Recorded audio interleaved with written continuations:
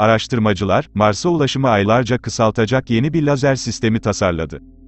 Henüz kavramsal gelişim aşamasında olan sistemin, işe yaraması durumunda Mars'a bir buçuk aylık bir sürede ulaşmak mümkün olacak.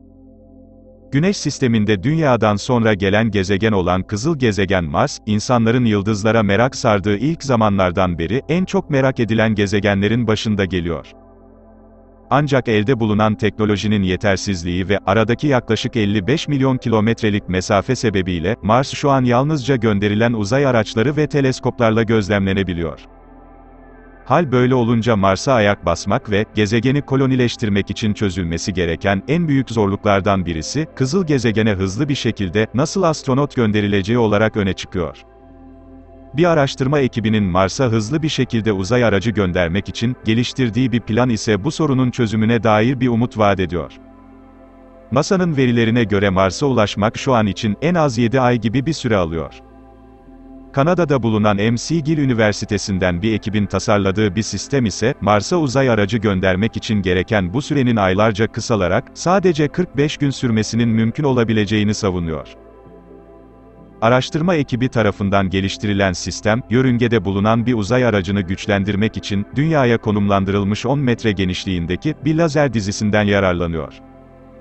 Sistem bu lazerlerin, uzay aracındaki hidrojen plazmasını, aracının Mars'a ulaşmasına yetecek derecede, aşırı ısıtılmış hidrojen gazı oluşana kadar, ısıtması prensibine dayanıyor.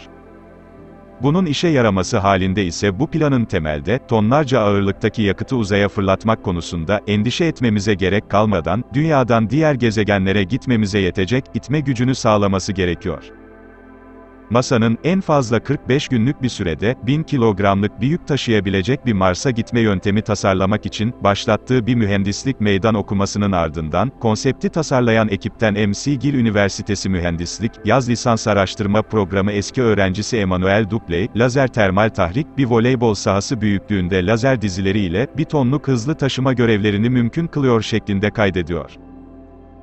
Ancak Mars'a giden ilk insanlar muhtemelen oraya, lazer termal tahrik teknolojisini kullanarak ulaşmayacaklar.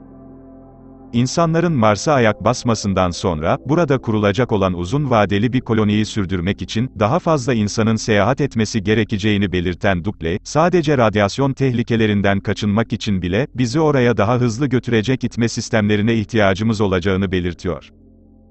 Normal şartlarda geleneksel kimyasal yakıtlı roketlerle, aylar sürecek bir yolculuktansa önemli malzemeleri ve astronotları, kısa sürede Mars kolonilerine götürmeyi amaçlayan sistem, Mars'a ulaştığında ise gemiyi hızla yavaşlatan hassas ve, potansiyel olarak tehlikeli bir manevra olan aerobrake manevrası için, gezegenin ince atmosferinden yararlanıyor.